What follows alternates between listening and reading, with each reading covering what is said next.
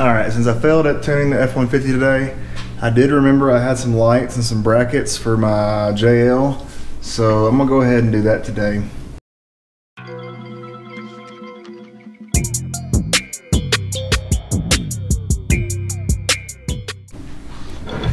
Be a quick, easy little project. I got these little Auxbeam Amazon joints and then some type of little hood mount thing for that.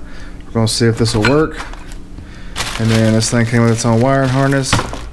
I got similar wiring harness in the vet. Comes with a little push button thing. You can hide it. I like that. Stick it up under the dash where it's not in the way.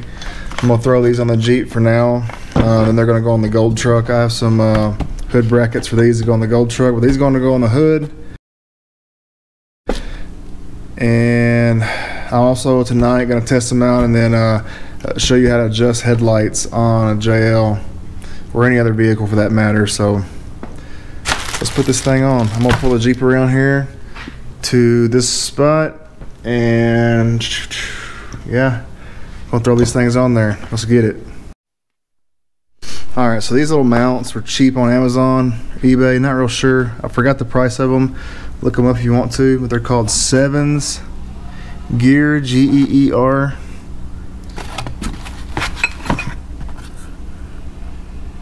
Sevens Geer.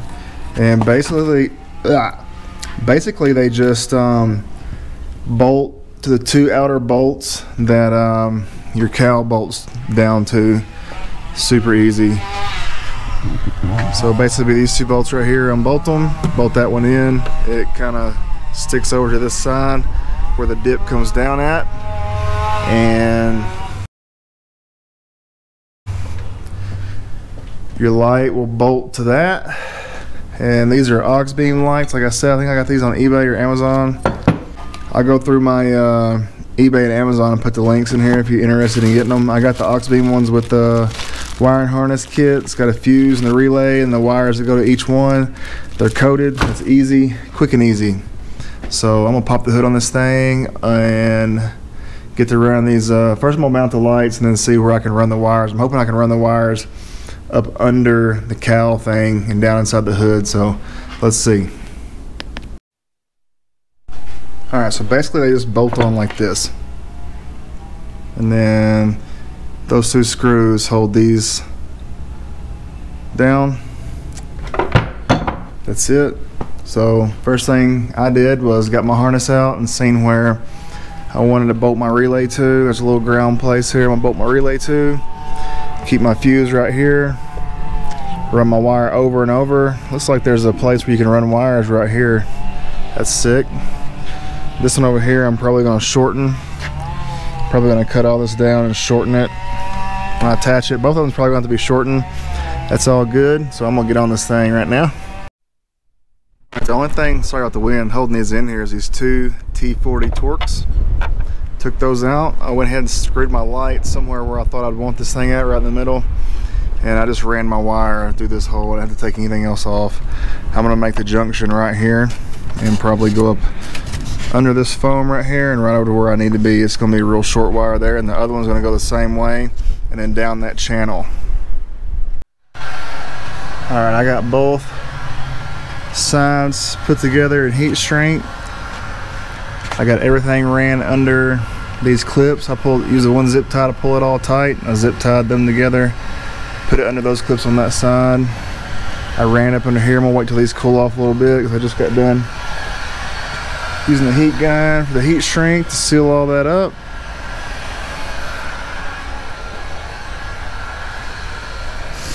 This one I already ran under because it's already cool, so it's already ran and ready to go. All I have to do is hook up my positive and negative right here and go inside and do the switch. These Jeeps have these little plugs right here. There's a hole in the firewall. I'm gonna put a, uh, I'm gonna go to AutoZone get a rubber grommet, but you can just pop that out and there's a huge access way right here. You can see how well you can see that in there. That's right here. You can see this cord. Hold on. This wire right here going in and out right there. Little hole right at the side. Goes right up above the gas or the right above the brake pedal on the left side. Probably gonna put the switch right in here somewhere. Just it's got a sticky back. I'm just gonna sticky back it to there. And uh, that's that. I'll do some other better switch pod later, but those will get me some lights for right now. I plan on putting two more down on the front bumper down here, but I'm not really sure what kind I want to buy yet. I may not even run these. I may take these off and run a different kind. I don't know. Those don't look too bad. All right, let me uh, finish running these wires and uh, run the switch and I'll hook it up and we'll go turn them on. All right, that went great. Super clean install. Only thing I'd like to change is I'd eventually like to get me a distribution block up here to mount all these accessories off of, but I just ran the wires across firewall here.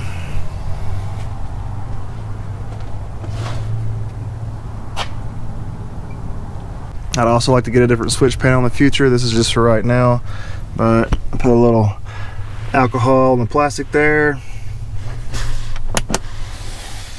quick on and grab it quick with my hands. They're pretty bright during the day. Excited to go test these out tonight when it gets a little darker. I'm also gonna wait till it gets a little darker and I'm gonna put uh go in the backyard and adjust my headlights I might do that now if I can see them, but the fenders I ordered are on their way. They said they already shipped them. They said they were built to order, but they already shipped them, so that sounds like a good deal. Probably have those next week, but I do need to get some primer on this thing, so I think I may, while I'm waiting for it to get dark, I think I may um, put this up on the sawhorse and start hitting this thing with some primer as well as these parts right here. All this goes with it so I may start hitting with all this with some primer I think I'm gonna try to paint match it to the Jeep I don't think I'm gonna do it black I think I'm gonna paint match it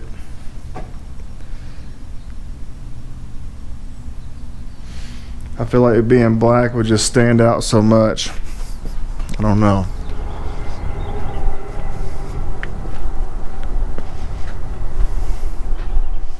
I feel like if it was white, it'd look pretty trick.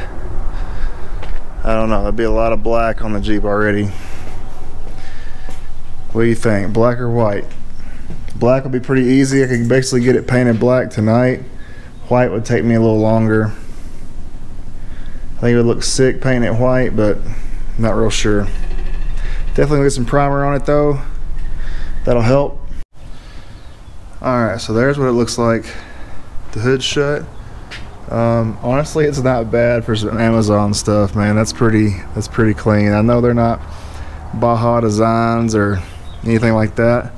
Um, honestly, I'm probably gonna get some of that uh, G lighting next. Some of their pods and stuff. I think they just came out with some a new series. I might get theirs. I'm gonna rock these right here for a little while, and then these will eventually go on my Silverado out back because I got some uh, hood mount uh, light brackets for it I'll probably just put these on it and put those uh, the G lights up there and on the on the bumper somewhere. I think I'm gonna make me a little bracket right here somewhere and put some down here.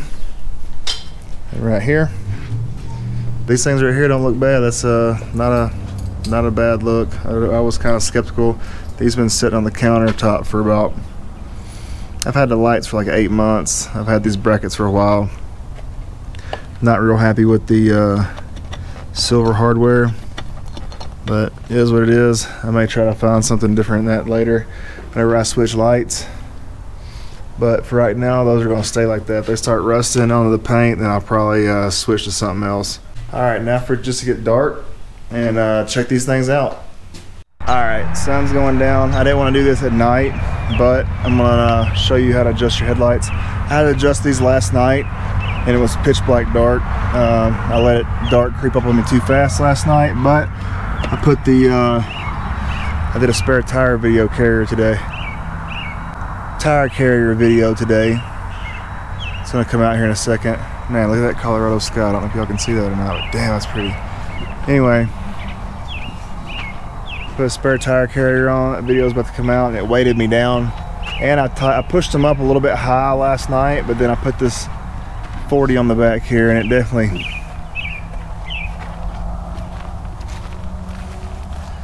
since I put this 40 on here it definitely pulled the back down some so we're going to readjust these headlights again good rule of thumb is about 25 feet away level ground I'm 24 and you don't want your headlights much over three feet baby little Phillips screwdriver and driver side's right here. the passenger side you can get to without taking the airbox out. You're just gonna have to bend this up with your hand and put your screwdriver down in that hole. You can twist them, adjust them up and down. That's what we're about to do right now. I'm gonna put three feet up there, uh, get me a little scratch mark, and then uh, adjust these down accordingly. All right, I put me a little scratch mark at three feet. Mine were way over four feet already again, so. And I put mine a little above three feet right here. Yeah, there. Uh, just because last night I put them at three feet and they did not shine out far enough.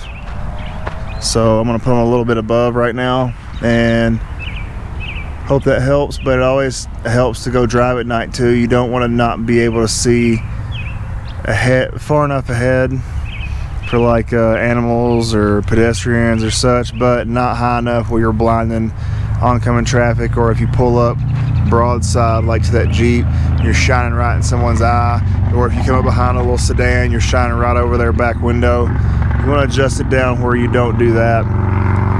Um, other than that, that's pretty straightforward. We're going to shut this hood. I'm going to throw these uh, Amazon lights on. They don't look too bad. So I'm gonna keep this little screwdriver in my Jeep just for now. Um, I can always pull up to something out out in public and uh, raise them up or down if I have to on the fly and get them dialed in where I want them. This is your low beam. High beam, you just go off of where your low beam's at.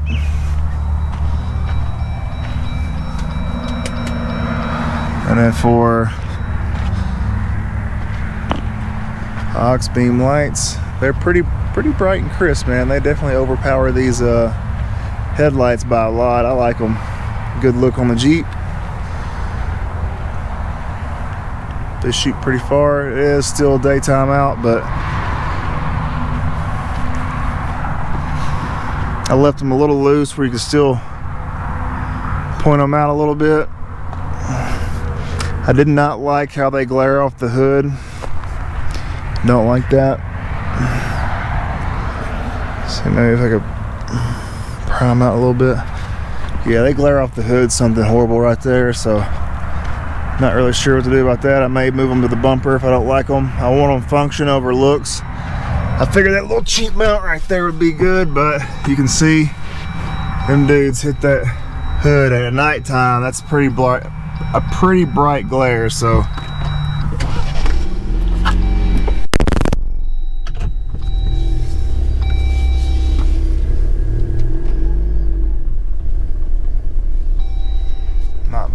bad. And the headlights look like they're shining out about where I want them to be.